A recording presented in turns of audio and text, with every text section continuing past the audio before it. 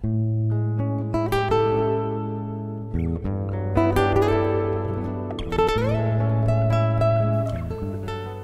well, following on from my very brief taster of um, my thesis that I wrote in 1965 on bridge construction, I've had some really positive feedback and one request was to see the whole thesis.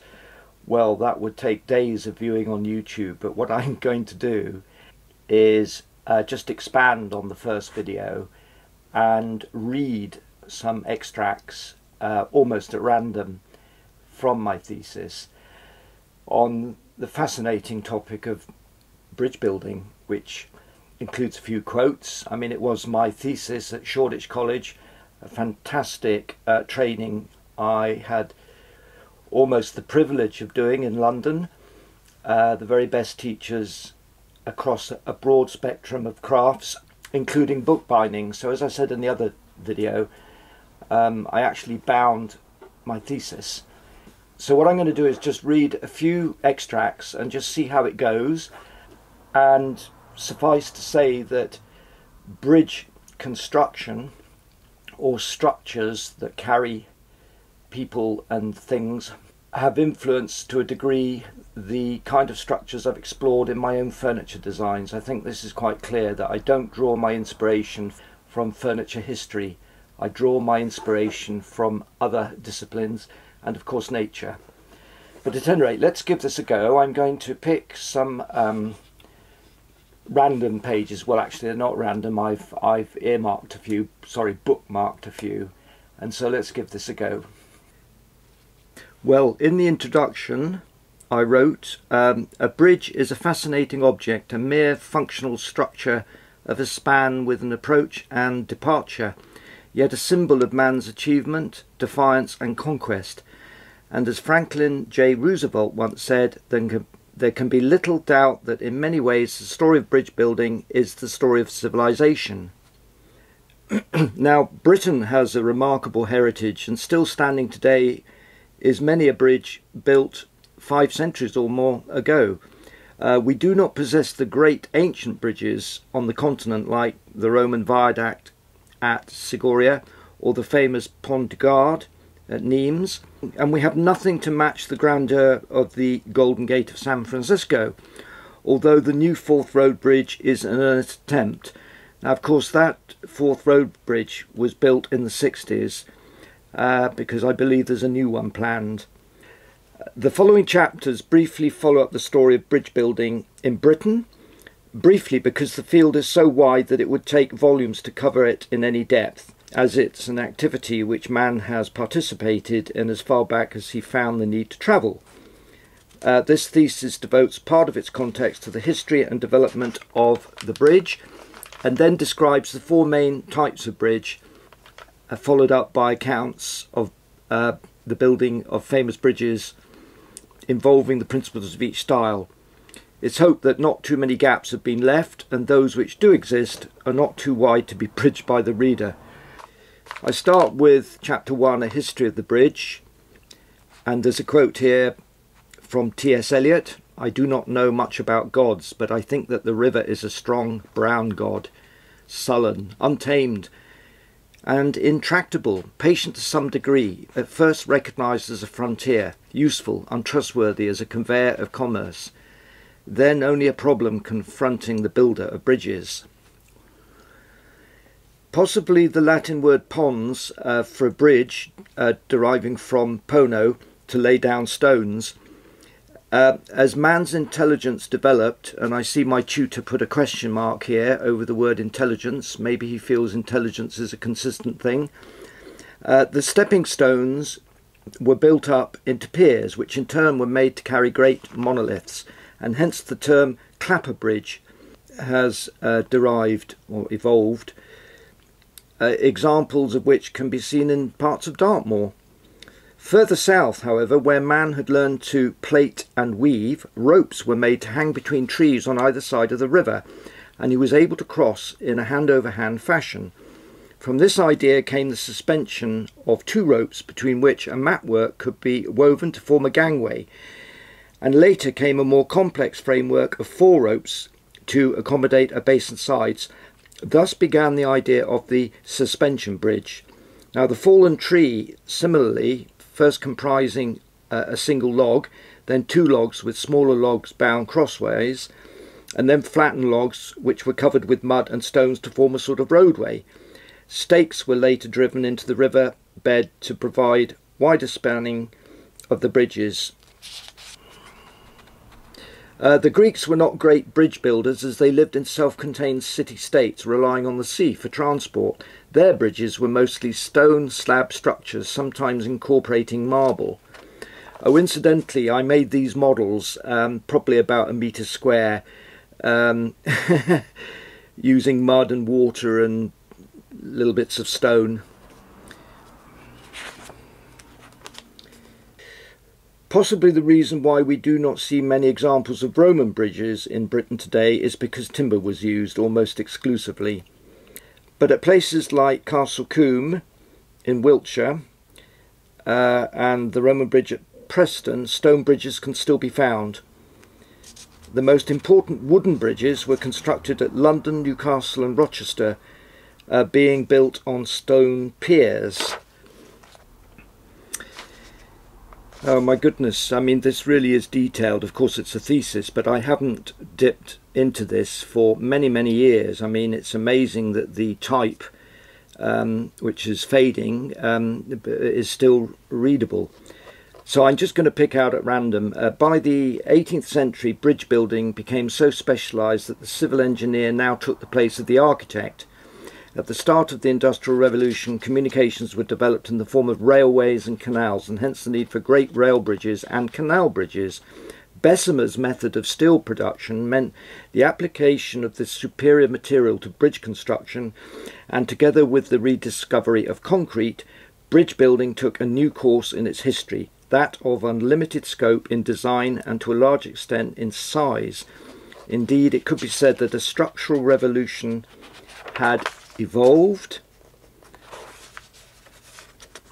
Uh, centuries ago, a bridge with a 20 foot span was an achievement, but nowadays, and nowadays, I remind you, was written in the 1960s, uh, with constructions like the Golden Gate of San Francisco at 4,200 feet, man can now think in terms of bridges spanning 10,000 feet. Uh, such is the history of bridges, but mention should be made, if only brief, of their sociological significance, which has contributed quite largely to the heritage of our country. A bridge means human contact, whether it's through friendship, hostility, romance, commerce, or tragedy, and history has been made on bridges. A bridge, by virtue of its position, is a natural rendezvous. In America, it is said of Niagara's famous Rainbow Bridge that if one stands on it long enough, one meets everybody in the world. Uh, as far back as 627 AD, a meeting took place between the Chinese Emperor Taizong, Taichung and the Turkish Genghis Khan. Oh, my pronunciation is terrible. Uh, they met on a bridge. And in 1419, John the Fearless, Duke of Burgundy, was supposed to have met the Dauphin of France on the bridge of Montereau, which resulted in the assassination of the former. Various battles have been fought on bridges, as well as the famous defending of the bridge of Horatius, and even executions have taken place on occasion.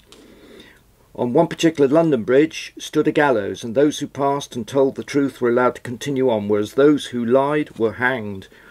Oh, we should take note of that today. Uh, here's an image of a natural cantilever bridge, uh, stones projecting out from the banks. So, you know, nature Nature is the great creator, the great innovator. Yes, here are some slab bridges. I did all the illustrations. Uh, in fact, this is called a clam bridge. Well, I'm really going to uh, race through this. Uh, so let's pick out a few more nuggets uh, perhaps the most interesting and architecturally most beautiful type of bridge is the arch, and certainly one of the major discoveries in human history, although it was not originally applied to the field of bridge building. Unlike the beam, uh, cantilever and suspension, the true arch is not one of nature's inventions, but even so the idea must have developed from the corbelled arch as in the stratified arches of nature, each successive course projecting slightly beyond the one below on either side of an opening until the projections met at the top. The Sumerians developed the idea and were largely responsible for its early form, whilst the Romans were more notorious for having used it, and certainly there is more present day evidence of the latter. The principle involved is that the weight above the crown of the arch is transferred in perpetuo down through each voussoir, wedge-shaped stone that is, to the abutments at either side. The Sumerians used mud and sun-baked bricks whilst the Romans introduced cement which was naturally more desirable for the true arch. The arch has been used throughout history, uh, only the materials having changed, and present-day construction involves the use of pre-stressed concrete and even aluminium. Unfortunately, Britain does not possess the great Roman bridges like that of the Pons Fabricius at Rome, or the famous Pont du Gard at Nimes.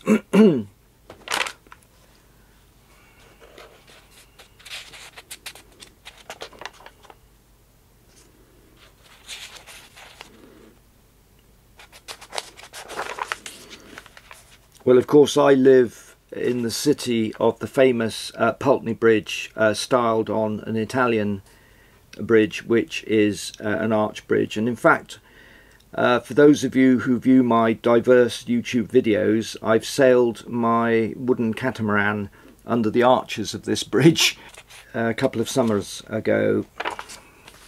Alright, the suspension bridge, which I've already described briefly.